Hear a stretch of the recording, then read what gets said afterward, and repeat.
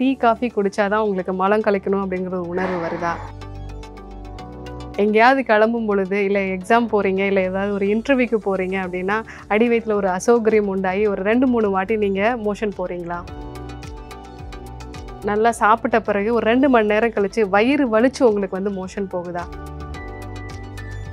இந்த சிம்டம்ஸில் ஏதாவது ஒன்று உங்களுக்கு இருந்தது அப்படின்னா உங்களுக்கு என்ன பிரச்சனை சித்த மருத்துவ முறைப்படி இதை எப்படி சரி செய்யலாம் அப்படிங்கிறத பார்க்கலாம். ஸ்ரீ வர்மா ஆயுர்வேதா தமிழகத்தின் தலை சிறந்த ஆன்லைன் மருத்துவமனை. இரிட்டபிள் பவல் சிண்ட்ரோம் ஐபிஎஸ்ன்னு சொல்லக்கூடியது. இது என்ன ஒரு புது வகையான நோயாக இருக்குது அப்படின்னு நினச்சிங்கன்னா நான் இப்போ உங்களை ஒரு மூணு கேள்வி கேட்குறேன் இந்த மூணு கேள்வியில் ஏதாவது ஒன்றுக்கு உங்களோட பதில் ஆம் அப்படின்னா இந்த நோய் உங்களுக்கும் இருக்கலாம். ஸோ முதல் கேள்வி என்ன அப்படின்னா சாப்பிட்டு ஒரு ரெண்டு மணி நேரத்தில் வயிறு நல்லா வலிச்சு அதுக்கப்புறமா வந்து மோஷன் போகிறீங்க அதுக்கப்புறமா எனக்கு வயிறு வலி சரியாயிடுது. அதுக்கப்புறம் கொஞ்ச நேரம் கழித்து திருப்பியும் வந்து பசிக்குது அப்படின்னா உங்களுக்கு ஐபிஎஸ் இருக்கலாம். இன்னொரு ஒரு கேள்வி என்னென்னா எனக்கு வாரத்தில் ஒரு ரெண்டு நாள் மூணு நாள் வந்து கண்டிப்பாக வந்து மலச்சிக்கல் இருக்குது அதுக்கப்புறம் பார்த்தீங்க அப்படின்னா நான் அதுக்காக நிறையா நிறைய தண்ணி குடிக்கிறது நார்ச்சத்து இருக்கக்கூடிய உணவுப் பொருட்கள்லாம் எடுத்தோம் அப்படின்னா திருப்பி வந்து அது டயரியாவாக மாறிடுது. ஸோ எனக்கு நார்மலான ஒரு விஷயமாகவே இருக்க மாட்டேங்குது. வாரத்தில் ரெண்டு நாள் மூணு நாள் கான்ஸ்டிபேஷன் இருக்குது மீதி நான்கு நாட்கள் வந்து எனக்கு வந்து டயரியாவாக இருக்குது அப்படின்னா ஐபிஎஸ்ஸாக கூட வந்து இருக்கலாம். இன்னொரு ஒரு காமனான சிம்டம் பார்த்தோன்னா வயிற்றில் எப்போவுமே அதிகமான அளவுக்கு வாயு வந்து தங்கியிருக்கு. காலையில் எழுந்து மோஷன் போகணும் அப்படின்னா எனக்கு வந்து ஒரு டீ காஃபி தேவைப்படுது. இல்லை ஏதாவது நான் சாப்பிட்டா தான் வந்து எனக்கு வந்து மோஷன் போகுது அப்படின்னா உங்களுக்கு ஐபிஎஸ் சம்மந்தமான பிரச்சனை இருக்கிறதுக்கு வாய்ப்புகள் இருக்குது ஸோ இந்த ஐபிஎஸ் அப்படிங்கிறது ஒரு ஃபங்க்ஷனல் டிசார்டர்னு சொல்லுவோம். இது ஒரு நோயே கிடையாது. நம்ம மனது நம்ம வயிற்றுக்கு அதிகமான அளவுக்கு தூண்டுதலை கொடுக்குது. இதுதான் ஐபிஎஸ்க்கு ஒரு முக்கியமான காரணமாகவே வந்து சொல்லப்படுது. இது நம்ம சின்ன வயசில் பார்க்கும்போது ஒரு எக்ஸாமுக்கு போகிறோம் அப்படின்னா அடி வயிற்றுல ஒரு கலக்கம் இருக்கும். நம்ம ஒரு ரெண்டு வாட்டி மோஷன் போயிட்டோம் அப்படின்னா எக்ஸாம் வந்து நல்லா எழுதுவோம். இன்டர்வியூக்கு போனாலும் சரி ஏதாவது ஒரு தொலைதூர பயணத்துக்கு போகும்பொழுதும் கூட இதே மாதிரியான ஒரு உணர்வு இருக்கும். இந்த உணர்வு அதிகமாக தூண்டப்படும் பொழுது தான் அது வந்து இரிட்டபிள் பவல் சின்ட்ரோமாக வந்து மாறுது. இந்த நோயாளிகள் எல்லாருமே வந்து ரொம்ப டிப்பிக்கலாக சொல்லக்கூடியது வந்து எனக்கு வந்து வயிறில் எப்போவுமே வலி இருக்குது வயிற்றில் எப்போவுமே வந்து கேஸ் தங்கி இருக்குது இதனால் எனக்கு வந்து உடம்பு எடை வந்து குறைஞ்சிக்கிட்டே வருது. மூட்டு வலி இருக்குது முடி நிறைய கொட்டுது.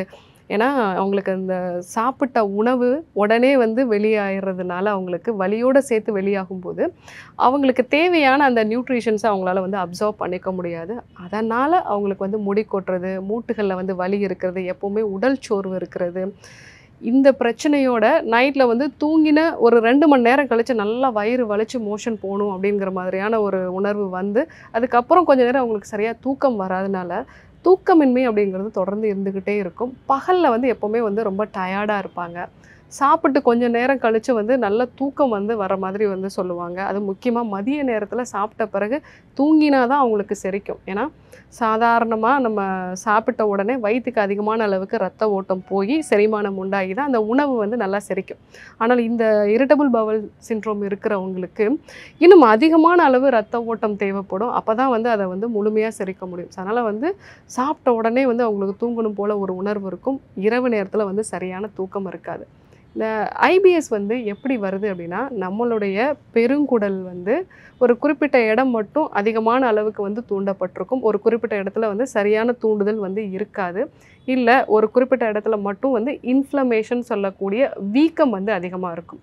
இது நம்ம மூளையிலேருந்து நம்ம பெருங்குடலுக்கு வரக்கூடிய அந்த சிம்டம்ஸ் வந்து சிக்னல்ஸ் வந்து அதிகமாக ஒரு பகுதிக்கு தூண்டப்படுறதுனால ஒரு பகுதியில் மட்டும் ரொம்ப சீக்கிரமாக வந்து உணவு செரித்து அதை வந்து வெளியேற்றணுங்கிற மாதிரி ஒரு உணர்வு வந்துடும் அதுக்கு முன்னாடி இருக்கக்கூடிய ஒரு பகுதி வந்து பார்த்திங்க அப்படின்னா அங்கே வந்து இயல்பான ஒரு விஷயம் நடக்கும். ஆனால் இதுக்கு முன்னாடி இருக்கக்கூடிய அந்த குடல் பகுதியில் வந்து அது வெளியாகி வந்துறதுனால இங்கே வந்து சரியாக செரிமானமாகாமல் கான்ஸ்டிபேஷனாக தொடர்ந்து அங்கேயே வந்து மலம் தங்கிடும். ஸோ இதுதான் இரிட்டபிள் பவல் சின்ட்ரோமுக்கான ஒரு காரணம். இது எப்படி வருது அப்படின்னா நான் சொன்ன மாதிரி அதீதமான ஒரு பயம். ஒரு நோயாளி கூட வந்து சொன்னார் நான் வந்து டீனேஜாக இருக்கும் பொழுது கல்லூரியில் படிக்கும்போது ஒரு மோதல் நடந்துச்சு. அந்த மோதலில் வந்து நிறைய பிரச்சனைகள் இருந்தது. அப்போது வந்து எனக்கு உயிருக்கே ஆபத்து ஏற்படக்கூடிய அளவுக்கு ஒரு சூழ்நிலை உண்டாச்சு. அதை தொடர்ந்து எப்பெல்லாம் வந்து எனக்கு பசி வருதோ இல்லை எப்பெல்லாம் நான் ஒரு க்ரௌடை பார்க்குறேனோ அப்போல்லாம் எனக்கு வயிறு பகுதியில் ஒரு அசௌகரியம் உண்டாகும். உடனே வந்து நான் மோஷன் போயிடணும். மோஷன் போயிட்டால் நான் வந்து சேஃபாக இருப்பேன். இல்லைன்னா வந்து எனக்கு வேர்க்க ஆரம்பிச்சிடும் பயம் வர ஆரம்பிச்சிடும். இந்த ஒரு உணர்வோடு இருப்பேன் அப்படின்னு வந்து சொல்லுவாங்க. பெரும்பாலும் டீனேஜில் இருக்கக்கூடிய ஆண்களுக்கு வந்து உருவாகும். அதே கண்டிஷன் வந்து ரொம்ப நாள் வந்து தொடர்ந்து வந்து இருக்கும். இன்னும் பெண்களுக்குமே இந்த பிரச்சனைகளோட அளவு வந்து அதிகமாக இருக்கும். அதுவும் நடுத்தர வயதில் இருக்கக்கூடிய பெண்களுக்கு வந்து இந்த ஐபிஎஸ் தொந்தரவு வந்து அதிகமாக இருக்கும். அதுலேயும் அவங்களுக்கு இந்த ஐபிஎஸ் தொந்தரவு இருக்கிறவங்களுக்கு பீரியட்ஸ் அப்போ வரக்கூடிய வலியோட அளவும் வந்து அதிகமாக இருக்கும். அவங்களால அந்த நியூட்ரிஷன்ஸை ப்ராப்பராக அப்சர்வ் பண்ண முடியாதனால கால்சியம் டெஃபிஷியன்சி வர்றது கூடவே வந்து அவங்களுக்கு இரும்பு சத்து குறைபாடு வர்றது புரோட்டீன் வந்து குறைபாடு இருக்கிறது இந்த மாதிரி சத்து குறைவு அப்படிங்கிறது அவங்க கூடவே வந்து இருக்கும். ஸோ ஐபிஎஸ் பிரச்சனையில் வந்து அடிக்கடி வந்து மோஷன் போகிறது ரிப்பீட்டடாக வந்து கான்ஸ்டிபேஷன் வந்து இருக்கிறது கூடவே சத்து குறைவு இருக்கிறது அப்படிங்கிறது வந்து ஒரு மெயினான சிம்டம்ஸாக வந்து இருக்கும். ஐபிஎஸ் அப்படிங்கிறத ஒரு சைக்கோசோமேட்டிக் டிசார்டர்னு சொல்லுவோம். அதாவது மனதுனால உடம்புல உண்டான ஒரு நோய். ஸோ உடம்பு மனசு ரெண்டையும் சேர்த்து சரி செய்யக்கூடிய ஒரு மூலிகைன்னு பார்த்தோன்னா வில்வ இலைகள். ஸோ இந்த வில்வ இலைகளை காலையில் வெறும் வயிற்றில் ஐந்து வில்வ இலைகளை நல்லா மென்று சாப்பிடும்போது நமக்கு வயிற்றுப்பகுதியில் இருக்கக்கூடிய இன்ஃப்ளமேஷனை குறைக்கக்கூடிய ஒரு தன்மை இருக்கும். ஸோ ஐபிஎஸ் இருக்கிறவங்க இந்த வில்வ இலைகளை வந்து தொடர்ந்து எடுத்துக்கலாம். ஸோ நோயோட தீவிரம் வந்து ரொம்ப அதிகமாக இருக்குது அப்படின்னா அந்த சமயங்களில் நம்ம மாதுளை சாறு வந்து நம்ம எடுத்துக்கிறது நல்லது. இல்லைன்னா சாதம் வடித்த கஞ்சியை வந்து நம்ம கொஞ்சம் உப்பு போட்டு நம்ம எடுத்துக்கிட்டோம் அப்படின்னா நமக்கு அந்த வயிற்றில் இருக்கக்கூடிய கேஸ் வந்து கொஞ்சம் குறையும். அடிக்கடி வந்து டாய்லெட் போகிறத வந்து நம்ம தவிர்த்துக்கலாம். ஸோ இது நோயோட தீவிரம் அதிகமாக இருக்கும் பொழுது நம்ம அக்யூட்டாக பயன்படுத்தக்கூடிய ஒரு விஷயம். ஆனால் ரொம்ப நாளாக இந்த ஐபிஎஸ்ஸால் நம்ம பாதிக்கப்பட்டிருக்கோம் அப்படின்னா மருத்துவரை தொடர்பு கொண்டு அதற்கான ஒரு முறையான ஆலோசனை பெற்று என்ன காரணம் நோய்க்கான முதல் காரணம் என்ன என்ன வகையான உணவுகள்லாம் நம்ம எடுத்துக்கலாம் அதை எப்போ எடுத்துக்கலாம்? ஏன்னா இந்த ஐபிஎஸ்ஸை பொறுத்த வரைக்கும் இந்த உணவு எடுத்துக்கலாம் அந்த உணவு எடுத்துக்கலாம் அப்படிங்கிறத நிறைய பேர் சொல்கிறது உண்டு ஆனால் இவங்களுக்கு ஒரு மூன்று கட்டமாக அந்த உணவு முறைகளை வந்து நம்ம பரிந்துரை பண்ணணும். ஸோ முதல்ல அவங்களுக்கு எதெல்லாம் ஒத்துக்கிறதோ அந்த உணவுகளை மட்டும் நம்ம பரிந்துரை பண்ணணும். அதுக்கப்புறமா எதெல்லாம் ஒத்துக்கலையோ அதை கொஞ்சம் கொஞ்சமாக அவங்களுக்கு கொடுத்து அதில் என்ன ஒரு ரியாக்ஷன் வருதுங்கிறத பார்க்கணும். இதை வந்து ஒரு பட்டியலாக வந்து நம்ம தயாரிக்கணும். மூன்றாவதாக அவங்களுக்கு என்னெல்லாம் உணவு வந்து கம்ஃபர்ட்டாக இருக்குமோ அதை மட்டும் அவங்களுக்கு வந்து ஃபாலோ பண்ண வச்சுட்டு இதெல்லாம் ரொம்ப அதிக பாதிப்பை கொடுக்குதோ அதெல்லாம் வந்து நம்ம வந்து கட் பண்ணி அவங்களுக்கு ஒரு முறையான உணவு பட்டியலை வந்து கொடுக்கணும். ஸோ இதை ஒரு மருத்துவரோட ஆலோசனையோடு நம்ம பண்ணும் பொழுது தான் அந்த ஐபிஎஸோட தொந்தரவு திடீர்னு அதிகமாகிறது திடீர்னு வந்து உங்களுக்கு பாதிப்போட அளவு அதிகமாகி ஹாஸ்பிட்டலைஸ் ஆகிறது. இந்த விஷயங்களெல்லாம் வந்து நம்ம தவிர்த்துக்கலாம். இரிட்டபிள் பவல் சின்ட்ரோமுக்கு சித்த மருத்துவ முறைப்படி சிகிச்சை பெறதுக்கு ஸ்ரீவர்மா மருத்துவர்களை வந்து தொடர்பு கொண்டு நீங்கள் ஆலோசனையை பெற்றுக்கொள்ளலாம். நேரடியாக வர முடியாதவங்க ஆன்லைனில் ஆலோசனை பெற்றுக்கொள்வதற்கான வாய்ப்புகளும் உண்டு. அந்த வசதியும் நீங்கள் பயன்படுத்தி உங்களுக்கான ஒரு மருத்துவ ஆலோசனையை பெற்றுக்கொண்டு நோயிலிருந்து விடுபட்டு ஆரோக்கியமான ஒரு வாழ்க்கையை வாழலாம். தீராத நாட்பட்ட நோய்களால் அவதிப்படுகிறீர்களா?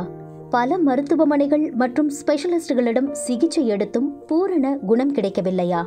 இன்னும் நோய்களின் வலிகளுடனும் வேதனைகளுடனும் அவதிப்படுகிறீர்களா? கவலை வேண்டாம்.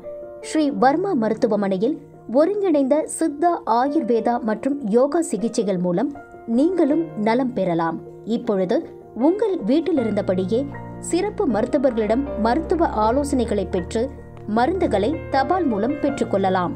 ஆரோக்கிய வாழ்க்கைக்கான யோகா பயிற்சி மற்றும் தியான பயிற்சிகளை இலவசமாக கற்றுத்தருகிறோம்.